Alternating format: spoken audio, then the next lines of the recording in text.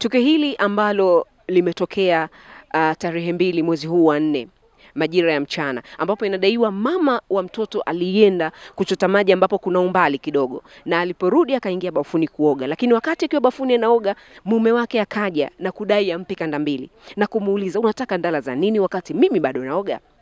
Ba- Baada ya muda mrefu mama aliamua kumpatia mume wake ndala, na alipotoka bafuni akakuta sebuleni kuna kinyesi cha mtoto, akajua mtoto amejisaidia na kusafisha. Nikazoa nikatupa, nikachukua maji nikajimwagia mguuni, nikamaliza nikakaa juani, nikasema hivi nimechoka, nikalale. Nilipoingia chumbani kakuta tu mtoto ananitazama hivi.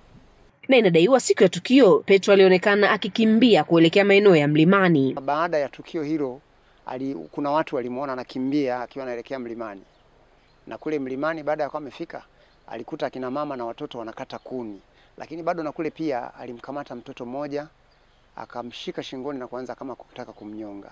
Kwa vile kulikuwa na watu wengi walipiga kelele, walivyopiga kelele akamwachia akakimbia. Hizi ni habari ambazo tunaambiwa na waliokuwa kule sasa.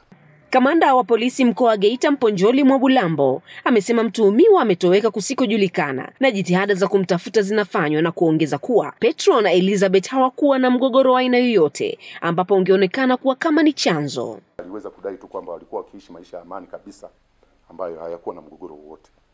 Kwa hiyo tuseme tu kwamba kifo cha huyu mtoto bado kimegubikwa na namna fulani ya, ya mazingira ambayo bado hayajaweza kufahamika mara moja, ili tuweze kusema kwamba kwa hakika baba kwa namna moja au nyingine amehusika na Elizabeth na Petro tangu aanze kuishi kwa pamoja, hakuna ndugu hata mmoja ambaye alijua zaidi ya wao wenyewe kuamua kuishi pamoja.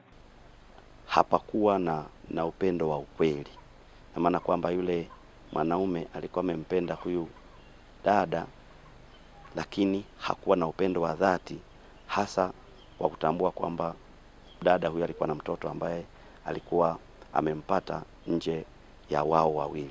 Katika matukio mengine, watu watatu wamepoteza maisha kwa ajali ya gari ambapo mtoto Betilda Swedi mwenye umri wa miaka sita aligongwa akiwa anavuka barabara maeneo ya Makurugus, na ajali nyingine watu wawili wamekufa wakiwa katika pikipiki maeneo ya Katoro baada ya gari aina ya Toyota Hiace kutaka kupita gari lililokuwa mbele yake na kukumbana na mwendesha pikipiki akiwa na abiria wake.